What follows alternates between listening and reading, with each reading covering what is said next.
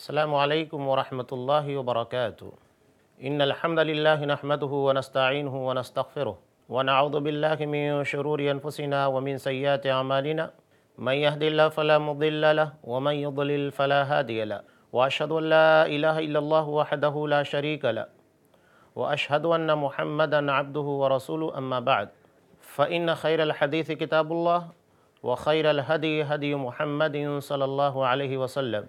وشر الأمور محدثاتها وكل محدثة بدعة وكل بدعة ضلالة وكل ضلالة في النار. أعوذ بالله السميع العليم من الشيطان الرجيم. بسم الله الرحمن الرحيم. يا أيها الذين آمنوا اتقوا الله حق تقاته ولا تموتن إلا وأنتم مسلمون. يا أيها الناس اتقوا ربكم الذي خلقكم من نفس واحدة وخلق منها زوجها وبث منهما رجالا كثيرا ونساء واتقوا الله الذي تساءلون به والأرحام إن الله كان عليكم رقيبا. يا أيها الذين آمنوا اتقوا الله وقولوا قولا سديدا. يصلح لكم أعمالكم ويغفر لكم ذنوبكم. ومن يطع الله ورسوله فقد فاز فوزا عظيما. تمام قسموں کی تعریفات اللہ رب العالمین وحدہ لا شریک کے لیے لائق و زیبا ہیں، جو ساری کائنات کا تنہا خالق و ملک ہے۔ اور بے شمار درود و سلام ہو۔ اللہ کے آخری نبی جناب کریم محمد رسول اللہ صلی اللہ علیہ وسلم کی ذات مقدسہ پر۔ آپ صلی اللہ علیہ وسلم کی اتباع اور پیروی میں کسی کو بھی شریک نہیں ٹھہرایا جا سکتا۔ جس طرح اللہ کی عبادت میں اگر کسی کو شریک ٹھہرایا جائے، تو اسے شرک فی العبادہ سے تعبیر کیا جاتا ہے۔ عبادت میں شرک کرنا۔ اسی طرح اگر اتباع پیروی حکم کے ماننے شریعت کی بناوٹ، شریعت سازی جسے کہا جاتا ہے، اس میں اگر نبی کے ساتھ کسی اور کو شامل کر لیا گیا، تو اسے شرک پھر رسالہ سے تعبیر کیا جاتا ہے۔ یعنی رسالت میں شرک کرنا۔ نبی کریم صلی اللہ علیہ وسلم کے مقام کے پر کسی غیر نبی کو لانے کی کوشش کرنا۔ اور یہ بہت سنگین جرم ہے۔ ایسا کرنے والا، اس کے طریقے پر چلنے والا دونوں مجرم بن جاتے ہیں۔ آپ صلی اللہ علیہ وسلم نے اس باب میں کتنی سختی کی کہ رسالت کے اس مقام کا تحفظ کیا جا سکے اور اس مقام کے پر کسی بھی غیر نبی کو نہ لایا جائے۔ آپ صلی اللہ علیہ وسلم کی احادیث اس ضمن میں آپ کو جا بجا نظر آئے گی۔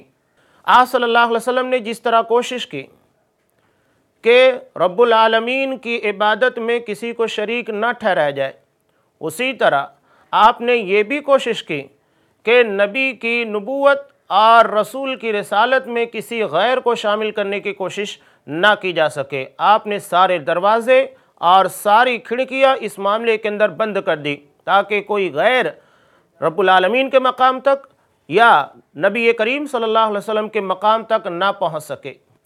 امام دارمی رحمۃ اللہ علیہ نے جس روایت کو نقل کیا، جس کے پر ہم نے کچھ باتیں آپ کے سامنے پیش کیں، اور بہت ساری باتیں اس حدیث کے ضمن میں باقی رہ گئی تھیں۔ حضرت جابر رضی اللہ تعالیٰ نے فرماتے ہیں کہ حضرت عمر فاروق رضی اللہ تعالیٰ نے نبی کریم صلی اللہ علیہ وسلم کے پاس تورات کا ایک نسخہ لے کر آئے اور کہا ہاد ہی نسخہ تم من التورا یہ تورات کا ایک نسخہ ہے۔ فسقت رسول اللہ صلی اللہ علیہ وسلم آپ صلی اللہ علیہ وسلم خاموش رہے اور آپ کی خاموشی کو حضرت عمر فاروق رضی اللہ تعالیٰ عنہ نے تورات کے پڑھنے کا جواز تسلیم کر لیا۔ تورات پڑھنے لگے۔ تورات پڑھنے میں مگن ہے، لیکن ادھر نبی کریم صلی اللہ علیہ وسلم کا چہرہ غصے کے مارے، غضب کے مارے تبدیل ہونا شروع ہو گیا۔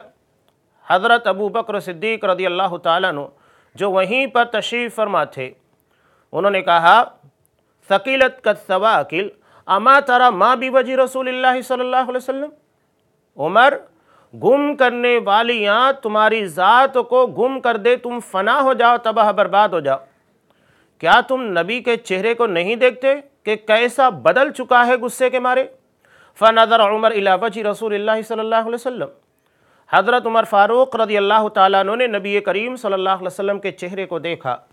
اور کہا، اعوذ باللہ من غضب اللہ و غضب رسولی رضینا باللہ ربا و بالاسلام دینا و بمحمد نبی و رسولا میں اللہ کی پناہ طلب کرتا ہوں، اللہ کے غصے سے اور رسول کے غصے سے۔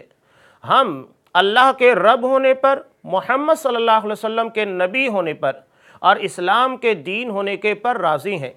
انہوں نے پہلے اللہ کے غصے سے پناہ طلب کی، اس کے بعد رسول کے۔ اس لیے کہ جس سے نبی ناراض ہو جاتا ہے، اس سے اللہ بھی ناراض ہو جاتا ہے۔ اور اپنے ایمان کی تجدید کی اس کو رینیو کیا کہ اس طرح نبی کریم صلی اللہ علیہ وسلم کو غصے میں لانا ہمارے ایمان کو داؤں کے پر لگا دیتا ہے۔ اس لیے انہوں نے فوراً اپنے ایمان کی تجدید کے لیے کہا، رضینا باللہ ربا و بالاسلام دینا و بمحمد نبی و رسولہ، کہ ہم اللہ کے رب ہونے پر اسلام کے دین ہونے پر اور محمد رسول اللہ صلی اللہ علیہ وسلم کے نبی اور رسول ہونے کے پر راضی ہیں۔ آج صلی اللہ علیہ وسلم نے اتنا سننے کے بعد جو بات کہی، وہ امت محمدیہ کے لیے، بلکہ امت محمدیہ کے ایک ایک فرد کے لیے بہت ہی اہمیت کا حامل معنی خیز جملے تھے۔ آج صلی اللہ علیہ وسلم نے اشارت فرمایا وَالَّذِي نَصِي بِيَدِهِ لَوْ بَدَا لَكُمْ مُوسَى فَاتَّبَعْتُمُوهُ وَتَرَكْتُمُونِ لَضَلَلْتُمْ عَنْ سَوَاءِ السَّبِيلِ وَلَوْ كَانَ حَيًّا وَأَدْرَكَ نُبُوَّتِي لَاتَّبَعَنِي. قسم اس ذات کی جس کے ہاتھ میں میری جان ہے۔ اگر موسیٰ علیہ السلام تمہارے سامنے آ جائیں اور تم مجھے چھوڑ کر ان کی پیروی کرنے لگ جاؤ، تو صحیح راستے سے بھٹک جاؤ گے۔ اور اگر بالفرض وہ زندہ ہوتے اور میری نبوت کے زمانے کو پا لیتے لتبانی تو میری ہی پیروی کرتے۔ سوچئے کہ آپ صلی اللہ علیہ وسلم نے بنی اسرائیل کے ایک عظیم الشان جلیل القدر پیغمبر حضرت موسیٰ علیہ السلام کے بارے میں کیا کہا؟ کہ اگر وہ بھی ظاہر ہو جائے، بنی اسرائیل کے ایک جلیل القدر پیغمبر کے بارے میں نبی یہ بات کہہ رہے ہیں، اگر وہ تمہارے سامنے ظاہر ہو جائیں اور تم مجھے چھوڑ کر ان کی پیروی کرنے لگ جاؤ تو صحیح راستے سے بھٹک جاؤ گے۔ تو سوچئے کہ اگر ہم نبی کے مقام کے پر نبی کو لاتے ہیں تو ہم صحیح راستے سے بھٹک جائیں گے۔ تو اگر نبی کے مقام کے پر کسی غیر نبی کو لا کر کھڑا کر دے جو نبی نہیں ہے۔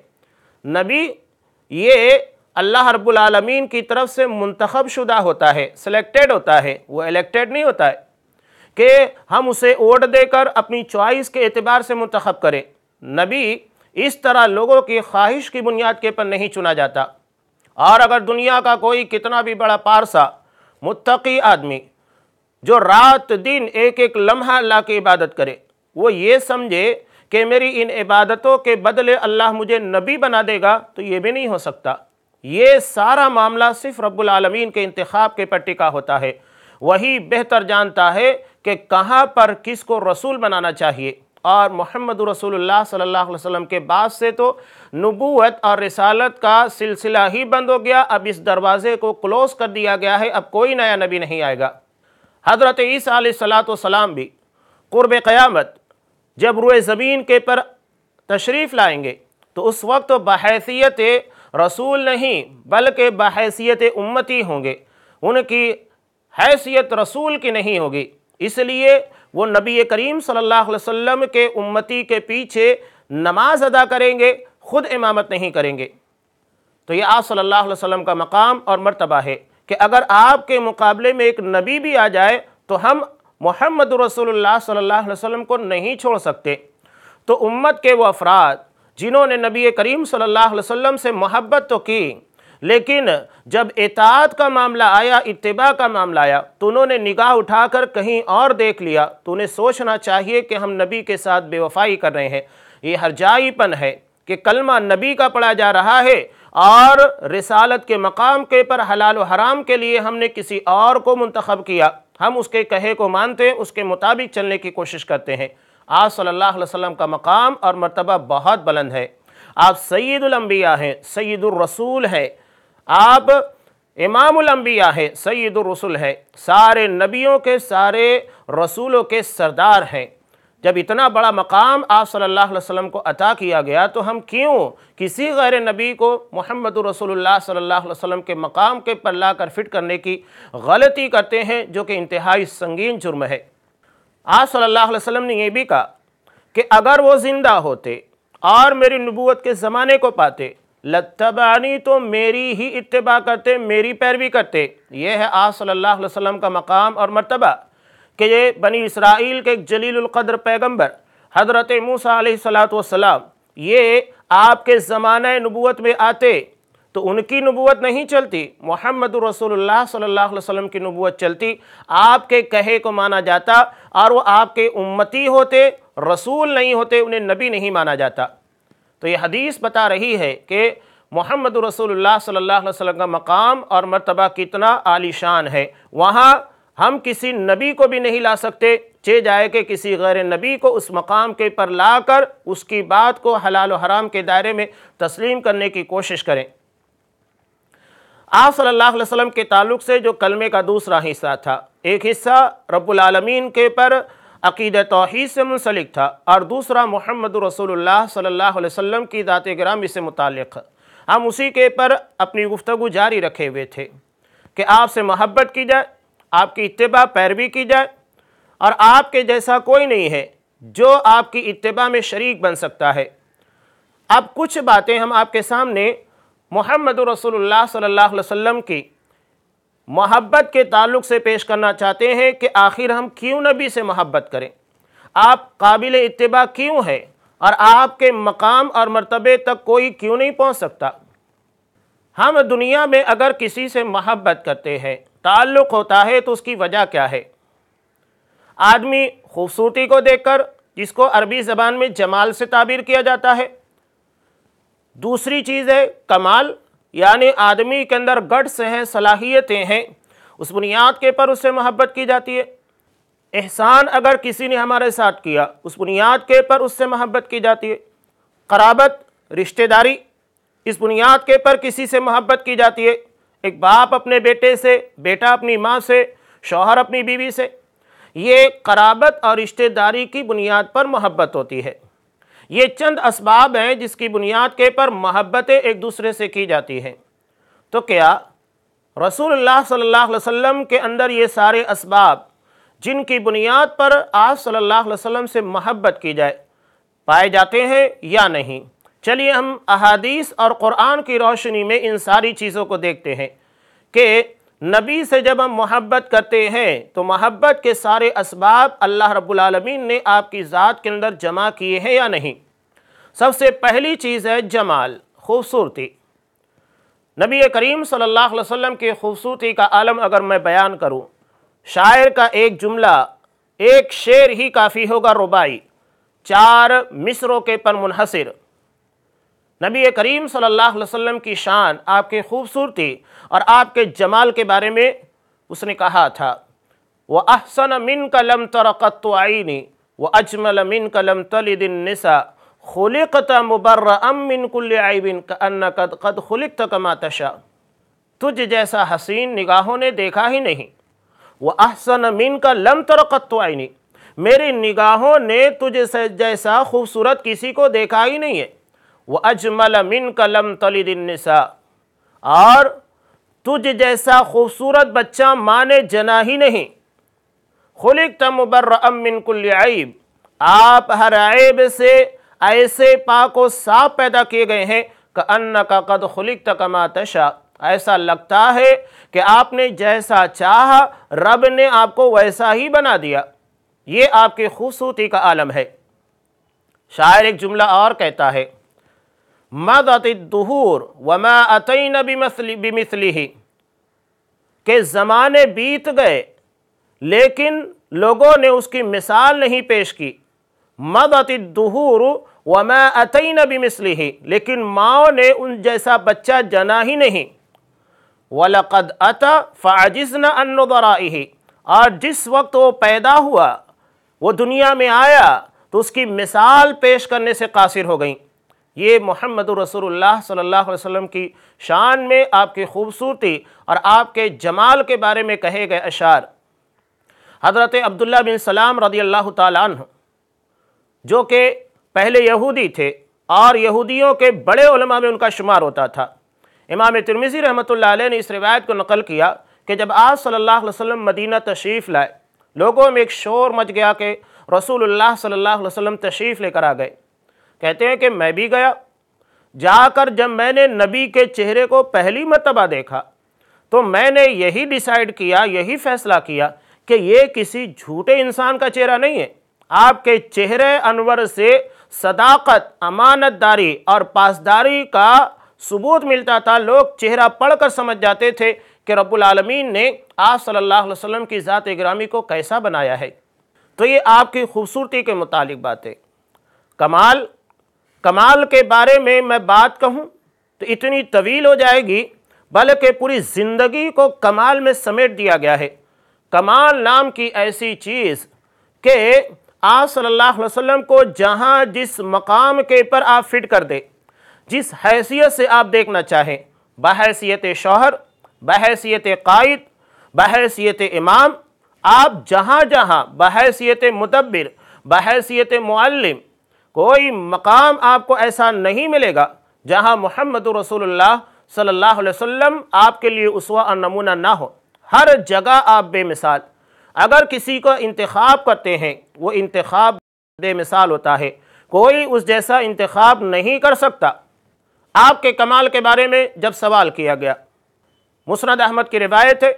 حضرت عائشہ صدیقہ رضی اللہ تعالیٰ نے فرماتی ہیں کہ آج صلی اللہ علیہ وسلم کے تعلق سے لوگوں نے آ کر سوال کیا کہ آپ کا اخلاق، آپ کا کیریکٹر کیسا تھا؟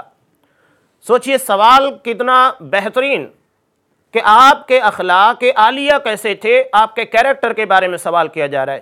اب بتائیے کہ اس کا جواب آپ کم سے کم الفاظ میں کیسے دے سکتے حضرت عائشہ صدیقہ رضی اللہ تعالیٰ عنہ، جو آپ کی صحبت اور آپ کی تربیت یافتہ تھی، آپ کی بیوی تھی کتنا حسین اور پیارا جواب دیتی ہیں۔ ایک جملے کے اندر آپ صلی اللہ علیہ وسلم کے اخلاق عالیہ، اخلاق حسنہ کو سمیٹ دیا۔ کہا کان خلقہ القرآن۔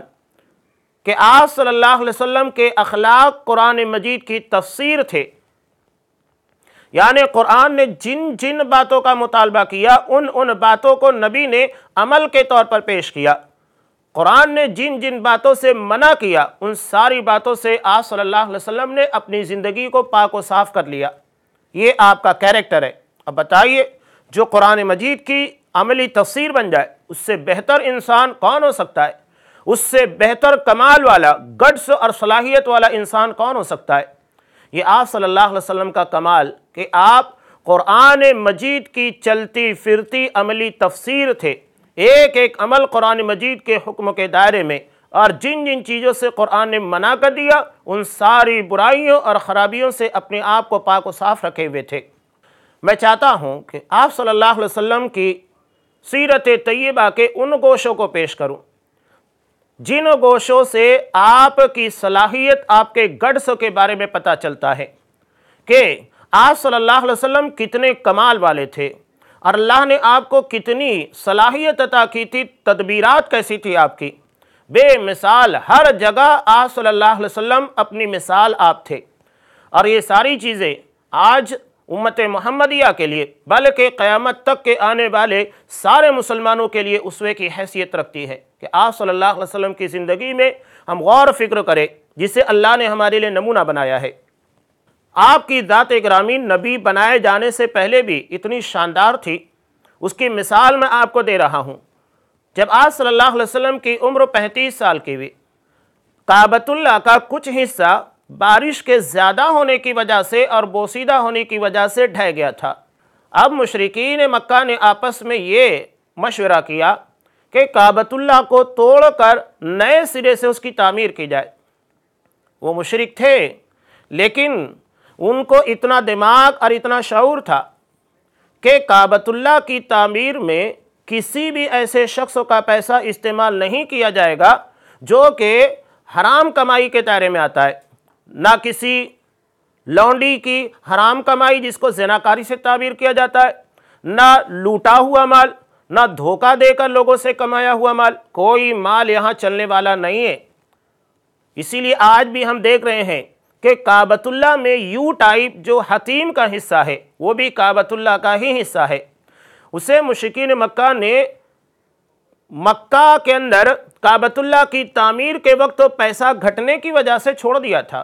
اور آج بھی وہ اسی شکل کے اندر موجود ہے، جبکہ وہ کعبۃ اللہ کا ہی حصہ ہے، جس کو حتیم کہا جاتا ہے یو ٹائپ۔ کعبۃ اللہ کی تعمیر بھی، لوگوں نے اپنے پیسے لا کر دیے، تعمیر کے لیے اپنا تعاون پیش کیا۔ پیسہ گھٹ گیا تو اس کا وہ حصہ جو کہ یو ٹائپ تھا حتیم، اس کو یوں ہی چھوڑ دیا گیا کہ بعد میں اس کو بنا لیں گے۔ کعبۃ اللہ کی تعمیر ہو گئی۔ تعمیر ہونے کے بعد ایک بہت ہی بڑا اہم مسئلہ حجر اسود کو اس کے مقام کے پر رکھنا تھا۔ اب ہر قبیلہ اس بات کی فکر میں تھا کہ حجر اسود کو ہم لوگ اپنے ہاتھوں سے اٹھا کر اس کی جگہ کے پر فٹ کریں گے۔ تاکہ یہ اعزاز اور یہ شرف ہمیں حاصل ہو جائے۔ اب ہر قبیلہ چاہ رہا تھا، بنو ہاشم بھی، بنو مخزوم بھی قابل لوئی کے افراد بھی، ہر کوئی اس کوشش میں تھا۔ یہاں تک کہ نوبت آ پہنچی کہ لوگ میان سے تلواریں نکال لیے۔ ایک دوسرے کے خون کو بہانے کے لیے تیار ہو گئے کہ اس شرف کو ہم ہی حاصل کریں گے، کوئی دوسرا حاصل نہیں کر سکتا۔ آخر میں ایک شخص کے مشورے کے پر کہ اس معاملے کا فیصل جج ہم اس آدمی کو بنا لیتے ہیں جو کل کعبۃ اللہ میں سب سے پہلے داخل ہوگا۔ اس بات کے پر سارے افراد تیار ہو گئے کہ ٹھیک ہے، مشورہ کافی بہتر ہے۔ چنانچہ، انہوں نے دوسرے دن جب آپ صلی اللہ علیہ وسلم کو کعبۃ اللہ میں دیکھا، سب سے پہلے آپ وہاں پر موجود دے صبح کے وقت۔ ان کی زبان کے پر ایک ہی جملہ آیا هذا امین هذا محمد صلی اللہ علیہ وسلم۔ یہ امانت دار ہے، یہ امین ہے اور یہ محمد صلی اللہ علیہ وسلم ہے۔ آپ کے نام سے پہلے آپ کی صفت اور آپ کی صلاحیت کا تذکرہ ان کی زبانوں کے پر تھا۔ آپ کی صلاحیت، ایمانداری اتنی زیادہ ان لوگوں میں پاپولر تھی، مشہور تھی کہ نام سے پہلے آپ صلی اللہ علیہ وسلم کے صفت آپ کی امانت داری کا تذکرہ کر رہے تھے۔ آپ صلی اللہ علیہ وسلم نے ایک حکیمانہ تدبیر اختیار کی۔ وہ تدبیر کون سی تھی؟ جس سے آپ صلی اللہ علیہ وسلم کے بہترین طریقہ کار آئیڈیالوجی کا پتہ لگتا ہے۔ آپ صلی اللہ علیہ وسلم نے ایک چادر لی۔ چادر میں حجر اسود کو رکھا اور سارے قبیلے کے سرداران کو جمع کیا اور کہا کہ ایک ایک کونا چادر کا آپ لوگ پکڑیے۔ حجر اسود کو پکڑنے میں سارے قبیلے کے سردار جمع ہو گئے۔ اور اس کے بعد جب اس کے مقام تک اس کو لایا گیا، تو آج صلی اللہ علیہ وسلم نے اپنے دست مبارک سے اسے اٹھایا اور اس کی جگہ کے پر نصب کر دیا۔ سارے سرداران خوش کہ ہمیں اس معاملے کے اندر شریک کر لیا گیا اور آپ صلی اللہ علیہ وسلم کو یہ احساس بھی مل گیا کہ آپ نے خود اپنے دست مبارک سے اسے اپنی جگہ کے پر فٹ کر دیا۔ یہ تدبیر کتنی شاندار تھی۔ یہ ایک اشارہ تھا۔ کہ آپ صلی اللہ علیہ وسلم اس طرح لوگوں کو جوڑیں گے، سارے لوگوں کو یکجٹ کریں گے۔ ہر کسی کو اس کا مقام دیا جائے گا، کسی کے ساتھ کوئی ظلم اور زیادتی نہیں ہوگی۔ لوگوں کے درمیان اختلاف جو پیدا ہونے والے ہیں، اس کا خاتمہ کریں گے۔ یہ آپ صلی اللہ علیہ وسلم کی صلاحیت اور لوگوں کے معاملات کو بہترین طریقے سے نبھانے اور اس کا تصفیہ کرنے کی دلیل تھی جو نبی بنائے جانے سے پہلے۔ اور نبی بنائے جانے کے بعد تو آج صلی اللہ علیہ وسلم کا ایک ایک عمل، آج صلی اللہ علیہ وسلم کا ایک ایک طریقہ ہمارے لیے نمونہ بن گیا۔ اور وہ ایک مثال بن گیا کہ آپ نے لوگوں کے معاملات کس طریقے سے حل کیے۔ ہجرت آپ نے کس انداز سے اور کتنے ماہرانہ طریقے سے کی۔ مکہ کی پوری انٹیلیجنس کے سامنے آپ بڑی آسانی کے ساتھ باہر نکل گئے۔ ہجرت کے بعد لوگوں کی تدبیر کرنے کے لیے، سینکڑوں کی تعداد میں لوگوں کے رہنے کے مسائل کو آپ نے کس طریقے سے حل کیا؟ مدینہ میں رہتے ہوئے آپ نے جنگ کے اندر کتنا بہترین قائدانہ رول ادا کیا؟ یہ ساری چیزیں انشاءاللہ ہم آئندہ ایپیسوڈ میں، جو نبی کریم صلی اللہ علیہ وسلم کی سیرت کے درخشاں پہلو ہے اور آپ کے کمال کی دلیلیں انشاءاللہ ہم آئندہ ایپیسوڈ میں آپ کے سامنے رکھیں گے۔ چونکہ وقت ہو چکا ہے اس ایپیسوڈ کے اختتام کا اجازت دیجیے، انشاءاللہ آئندہ ایپیسوڈ میں وہ ساری باتیں ہم آپ کے سامنے لے کر پیش ہوں گے، پیش خدمت ہوں گے۔ تب تک کے لیے دیجیے اجازت۔ السلام علیکم ورحمۃ اللہ۔